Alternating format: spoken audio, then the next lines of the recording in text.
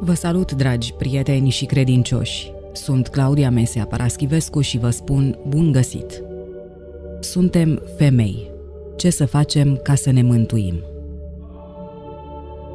Și a venit Maria Magdalena, vestind ucenicilor că a văzut pe Domnul. Ioan 20 cu 18 Vouă vi se cade să-i aduceți Domnului Isus Hristos cățui de aur pline de tămâia milostivirii voastre față de săraci, de dragostea voastră, de compătimirea voastră. În prezent, fiecare inimă de femeie care dorește să verse dragostea asupra lui Hristos are posibilitatea să facă aceasta. Oricare dintre voi poate să reverse dragostea sa, darurile sale asupra fraților mai mici ai lui Hristos – aceasta va fi la fel cu slujirea pe care au adus-o sfintele femei mironosițe. Ele duceau vasele de alabastru cu mir. Ele duceau aromatele ca să ungă trupul mort al Domnului Isus Hristos. De aceea sunt numite mironosițe. Iar vouă vi se cade să-i aduceți Domnului Isus Hristos cățui de aur pline de tămâia milostivirii voastre față de săraci, de dragostea voastră, de compătimirea voastră Mergeți pe calea sfintelor femei spre Hristos. Mergeți după sfintele femei mironosițe și veți ajunge acolo unde se bucură și ele cu bucurie veșnică. Viața și faptele mironosițelor reprezintă un exemplu al scopului adevăratelor femei creștine. Chemarea lor pe pământ este aceea de a duce o viață cu inima curată. Dăruința sfintelor mironosițe este nemărginită iar iubirea lor pentru Hristos este nesfârșită. Lipsindu-se de grijile pământești, inimile lor au trăit numai pentru a se dedica Domnului. Gândurile, dorințele și speranța erau îndreptate către acesta și toată binecuvântarea și prețuirea erau pentru el. De dragul învățătorului și-au părăsit căminele, rudele și cunoștințele. Au uitat de slăbiciunea lor de femei și nu s-au înfricoșat de cruzimea dușmanilor lui Hristos, urmându-l la tot pasul, mergând prin orașe și sate și purtându-i de grijă. Ele nu l-au abandonat în timpul suferinței și nici după moarte. Mergând în urma sa cu iubire, l-au însoțit pe Domnul până pe Golgota și l-au privit pe răstignit, înduioșându-se de suferința lui.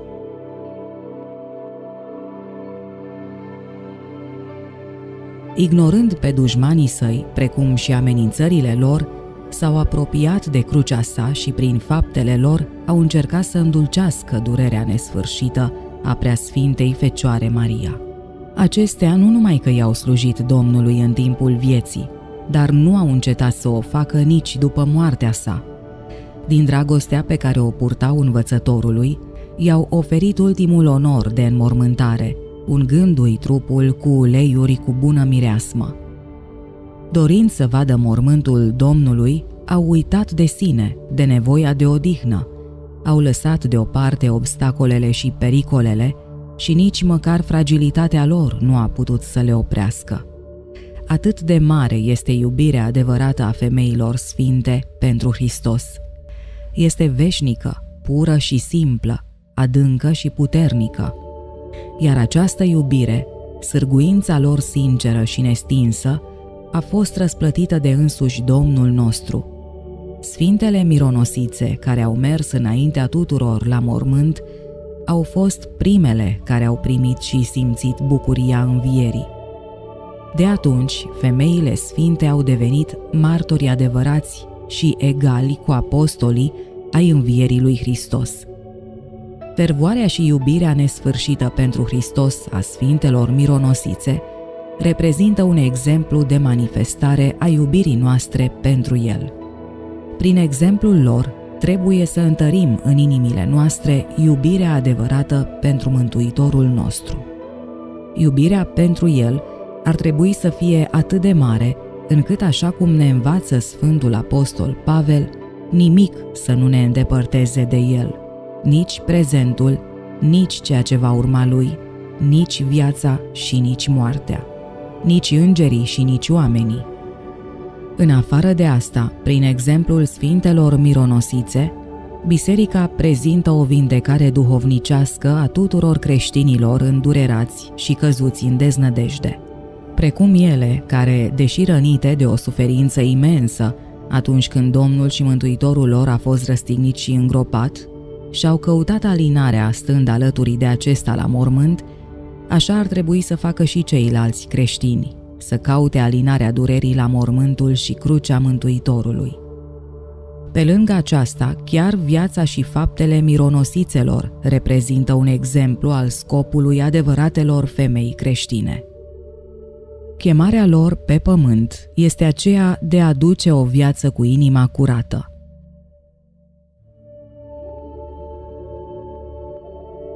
Precum sfintele mironosițe, femeia creștină din ziua de astăzi trebuie să-i ajute pe cei sărmani, să aline suferința celor răpuși de greutatea muncii, să-i îngrijească pe cei bolnavi și suferinzi.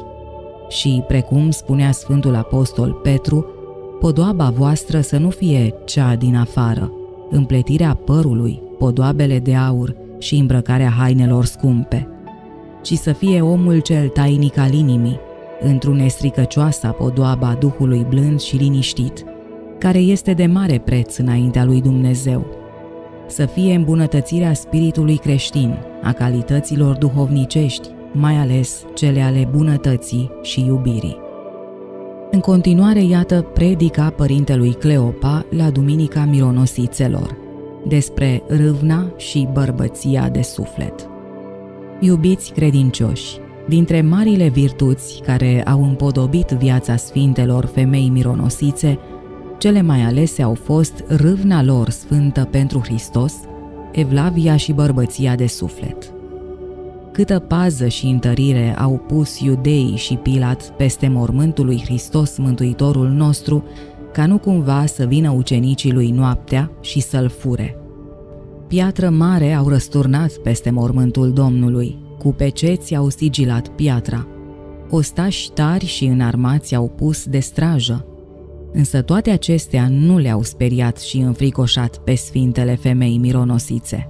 Râvna lor cea mare, Sfânta Evlavie și bărbăția lor de suflet au trecut peste toate întăriturile iudeilor, nebăgând seamă de toată paza mormântului. Un cuget și un gând stăpânea mintea și inima lor – să slujească cu toată credința și evlavia la înmormântarea preascumpului Mântuitor. A zis oarecând Solomon, femeie, bărbat, cine a văzut? Dar iată, aici, femei mai bărbați decât bărbații. Bărbații, ucenicii lui Hristos, s-au ascuns de frica iudeilor. Pentru cel fierbinte și tare în credință, de trei ori s-a lepădat de Domnul – pentru care mai pe urmă s-a căit și a plâns cu amar. Iar femeile care din fire sunt fricoase și neputincioase și care de multe ori se înfricoșează, chiar acolo unde nu este frică, aici, în slujba înmormântării preasfântului nostru Mântuitor, se arată mai tari și mai bărbătoase decât bărbații. Nu se tem de groaza iudeilor, de îndrăzneala ostașilor nu se înfricoșează, nici straja de la mormântul Domnului nu le tulbură inima.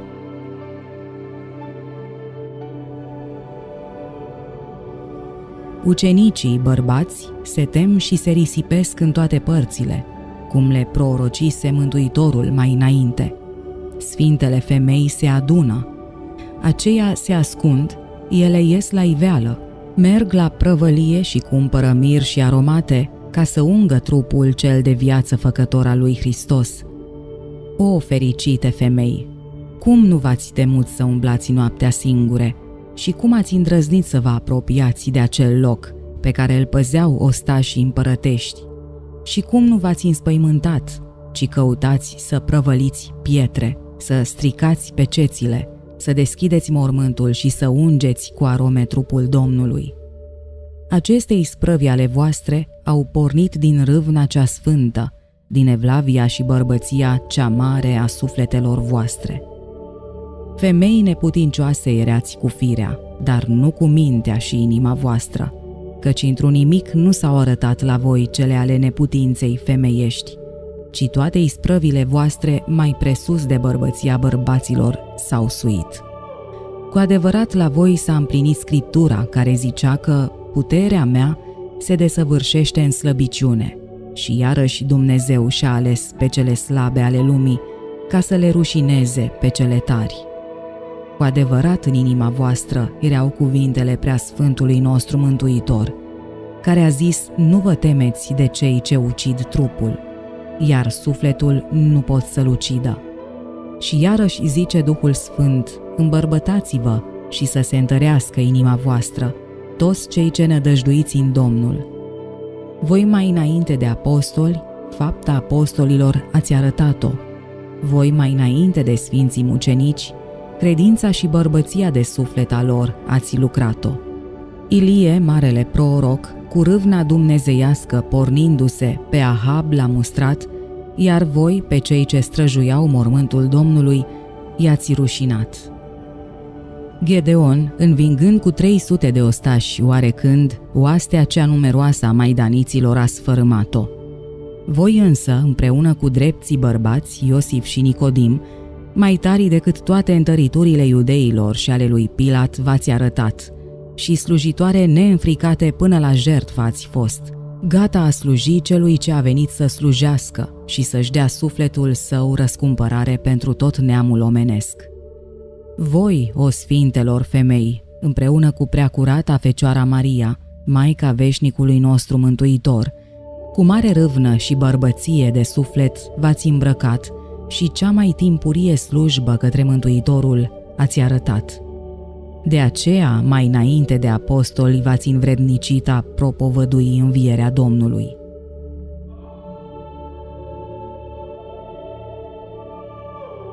Iubiți credincioși, cine sunt acele sfinte femei mironosițe, adică purtătoare de mir, care au urmat lui Hristos împreună cu apostolii și care s-au învrednicit să fie martore ale patimilor Domnului și să-i ungă Sfântul trup cu miresme, cât a stat în mormânt. Sfânta Evanghelie ne amintește pe scurt numele și faptele lor. Cea din tâi și cea mai plină de râvnă și bărbăție duhovnicească este Maria Magdalena, deloc din cetatea Magdala, Galileea. Alte sfinte mironosițe sunt Maria, mama lui Iacob și a lui Iosif, adică vara Maicii Domnului, Maria lui Cleopa și Salomea, mama fiilor lui Zevedei, apoi Ioana, femeia lui Huza, un ispravnic al lui Irod, Suzana și multe altele care îi slujau din avutul lor. Printre mironosițe sunt numărate și cele două surori ale lui Lazar din Betania, Marta și Maria, unde găzduia adeseori Mântuitorul cu sfinții apostoli în drum spre Ierusalim și Galileea. Care erau virtuțile principale ale acestor femei mironosițe?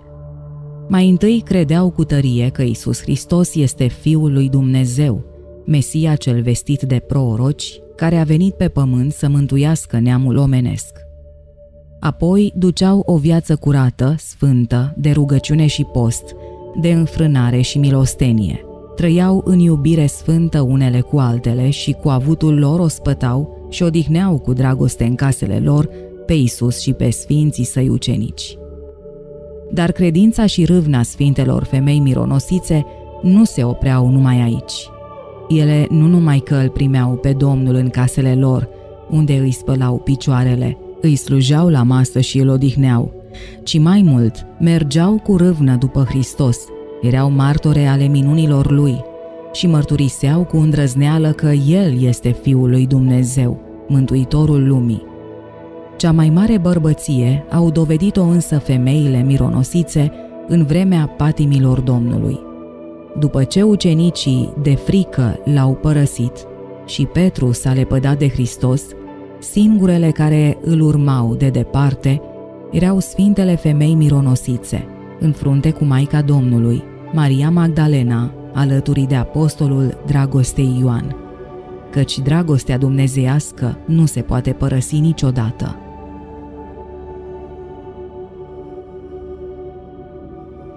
Curajul și bărbăția sufletului s-au văzut la femeile mironosițe și pe drumul crucii spre Golgota. Ele, singure cu Sfântul Ioan, îl petreceau pe Domnul la răstignire, fiind martore ale patimilor lui. Ele singure se rugau pentru el cu lacrimi și suspine adânci, încât Mântuitorul, milostivindu-se spre ele, le-a zis, Fiice ale Ierusalimului, nu mă plângeți pe mine, ci plângeți-vă pe voi și pe copiii voștri, căci dacă fac aceasta cu pomul verde, cu cel uscat ce va fi? Pe Golgota Sfintele Femei mironosițe, împreună cu apostolul nemuritoarei iubiri, erau de asemenea singurii martori ai răstignirii Domnului nostru Isus Hristos. Ele l-au văzut însângerat și căzut sub cruce. Ele l-au văzut dezbrăcat de cămașă și întins pe cruce. Ele au văzut loviturile cuielor în mâinile și picioarele Domnului și au leșinat de durere sub cruce. Ele au auzit cuvintele de hulă ale iudeilor, mărturisirea de pocăință a tâlharilor și rugăciunea zdrobitoare a Mântuitorului. Dumnezeul meu, Dumnezeul meu, pentru ce m-ai părăsit? Femeile mironosițe au văzut întunecarea soarelui, întristarea cerului, învierea morților din morminte și au auzit rugăciunea de iertare a Fiului lui Dumnezeu pentru iudeii ucigași. Părinte, iartă-le lor, că nu știu ce fac. Tot ele, aceste femei mai bărbătoase decât apostolii, mai pline de râvnă decât ucenicii, au văzut aruncându-se sorți pentru cămașa lui Hristos, făcută de mâinile Maicii Domnului. Și au auzit cuvântul lui cel mai de pe urmă, Părinte, în mâinile tale încredințez Duhul meu. Iată cât de mare era râvna, tăria credinței și bărbăția sufletului sfintelor femei mironosițe. Nu se temeau de ostașii romani atât de sângeroși, nu se înfricoșau de furia iudeilor, de Dumnezeu netămători, nici nu se înspăimântau cu totul de moartea Domnului pe cruce, ca cei ce nu au nădejde. Însă bărbăția sfintelor femei mironosițe nu s-a terminat pe Golgota. Ele au fost de față și vineri seara la coborârea Domnului de pe cruce și împreună cu Iosif din Arimatea au cumpărat giulgiu și miresme, au uns trupul lui cu miresme, l-au înfășurat în giulgiu, l-au pus în mormânt și au prăvălit o piatră la ușa mormântului. Iar Maria Magdalena și Maria, mama lui Iosif, adică Maica Domnului, priveau unde l-au pus. Și după ce a trecut ziua sâmbetei, Maria Magdalena, Maria, mama lui Iacob, adică sora Maicii Domnului, și Salomea au cumpărat miresme ca să vină să lungă.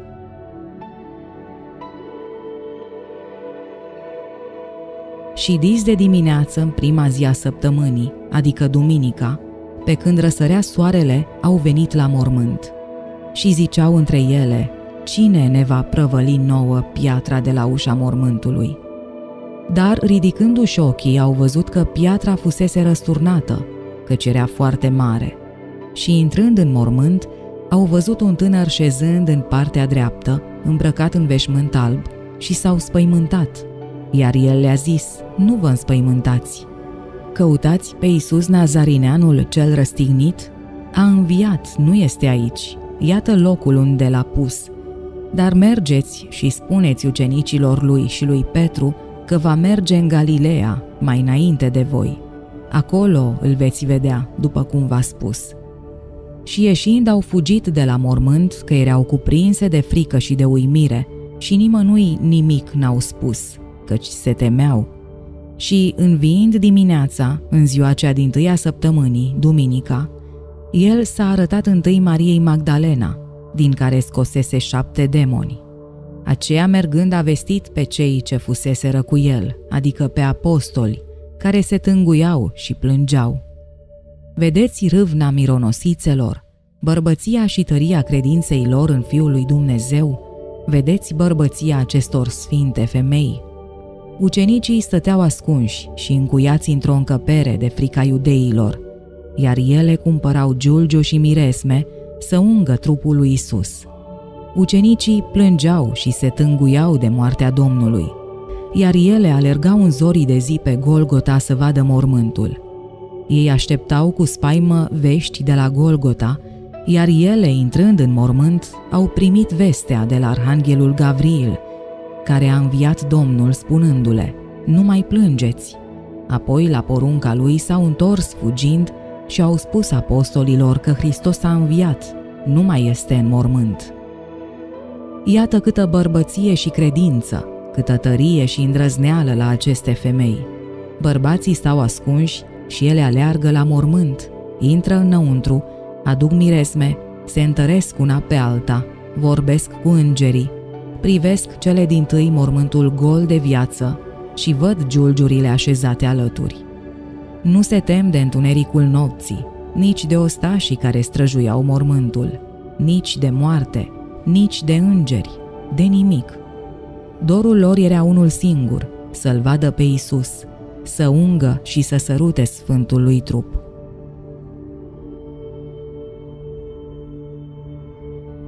Femeile mironosițe sunt cele din tâi și cele mai vrednice martore ale răstignirii, morții, îngropării și învierii Domnului.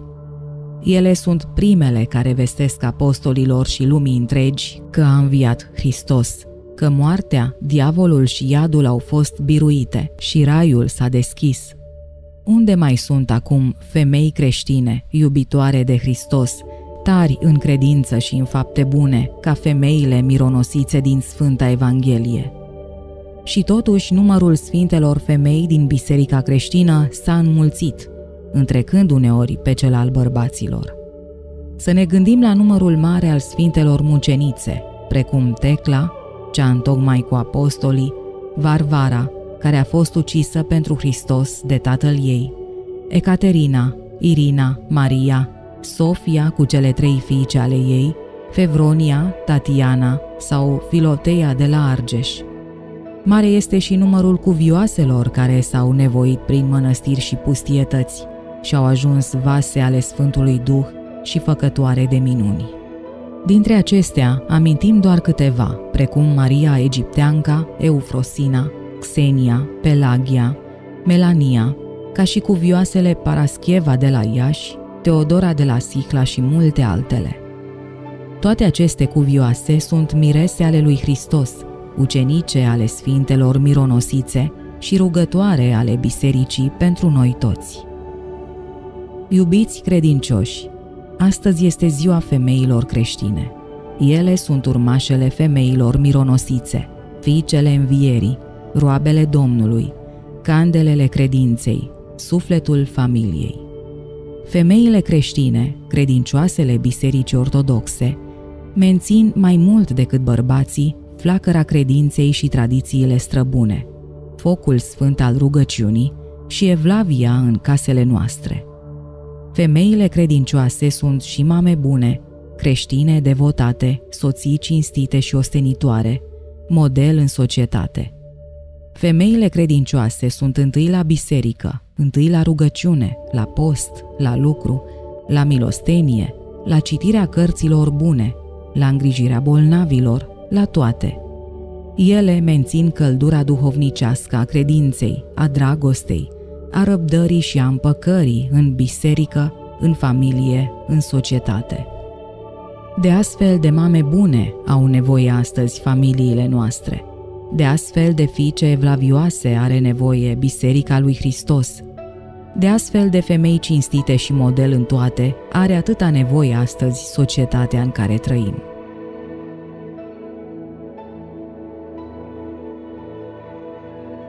Sunt destule mame care nu vor să nască copii, nici să le dea o educație creștină bună. Sunt atâtea mame care își ucid majoritatea copiilor, iar puținii pe care îi nasc nu-i cresc în frica lui Dumnezeu sau îi lasă de capul lor și ajung să fie o povară pentru familie și o rușine pentru societate. Mamelor, sunteți mironosițele de azi ale Bisericii lui Hristos. Aduceți Domnului nu miresme de mult preț, ci credința voastră curată și copii buni, bine educați și credincioși, Vorbiți-le mai mult de Dumnezeu, de sfinți, de biserică și de înaintași. Nu-i smintiți cu nimic și dați-le să citească cărți bune, cât mai mult. Dumneavoastră puteți contribui cât mai mult la înnoirea duhovnicească a lumii, a bisericii și a societății. Adăugați un de lemn sfânt în sufletele copiilor dumneavoastră. Dintre ei vor ieși mâine suflete mari, oameni buni, preoți credincioși, dascăli iluminați, creștini model. Viitorul familiei, al copiilor, al bisericii, depinde cel mai mult de dumneavoastră. Să fiți la datorie ca și mamele noastre. Gândiți-vă ce mame sfinte am avut. Tinere fecioare, păstrați neîntinată pentru Domnul cinstea și buna voastră credință, până veți dobândi și voi calitatea de mame în societate și în biserică. La fel și dumneavoastră, văduvelor și bătrânelor mame. Supravegheați pe cele tinere, pe copii, pe cei din jur. Nu tăceți. Mamele tinere au nevoie de exemplul și de jertfa voastră. Tinerele fecioare au nevoie de sfatul vostru, iar copiii și nepoții de rugăciunile, de lacrimile și mustrarea voastră. Începeți toate cu Dumnezeu, cu rugăciunea, cu spovedania regulată și cu mai multă smerenie și răbdare. Mai multe mame bune, mai multe văduve și fecioare cinstite și credincioase, înseamnă pentru ziua de mâine mai mulți copii în case, mai mulți credincioși la biserici, mai multă pace în familie, mai puține beții, divorțuri și avorturi în lume, mai puține boli și lacrimi pe pământ și mai multe suflete în rai. Amin. Dragii mei prieteni și credincioși, vă mulțumesc că ați fost alături de mine. Până data viitoare, numai bine și Dumnezeu să fie cu noi toți. Pe curând!